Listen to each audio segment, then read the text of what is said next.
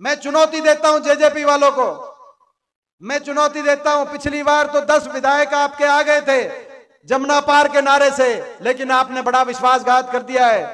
बड़े बुज़ुर्गों के साथ, अपने मतदाता के साथ, जिन्होंने जमुना पार बीजेपी को भेजो के नाम पे वोट दी, आपको कितनी तकलीफ़ हो मुझसे, लेकिन मैं चुनौती देता हूँ, हम ईमानदारी से लड़ाई लड़ रहे हैं। नब्बे सीट है हरियाणा की, छुट्टी बोलते हैं, एक सीट से आप अपना जमानत बचा के दिखाना, आपने इतना बड़ा विश्वासघात किया है। जनता वोट की चोट से उस विश्वासघात का जवाब देगी। तारीख बदलेगी, साल बदलेगा, नए साल में सरकार बदलेगी और इक्यावन सौ बुढ़ापा पेंशन की बात बदलेगी।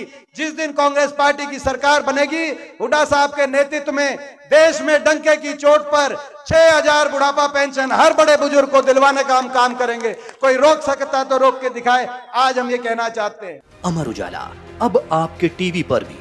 अपने स्मार्ट टीवी पर यूट्यूब पर सर्च करें अमर उजाला। चैनल सब्सक्राइब करें और देखें ताज़ा खबरें। वो भी एचडी क्वालिटी में। और हाँ बेल आइकन दबाना ना भूलें, ताकि हर खबर हो आपके घर। अमर उजाला, निष्पक्ष निर्भी निरंतर।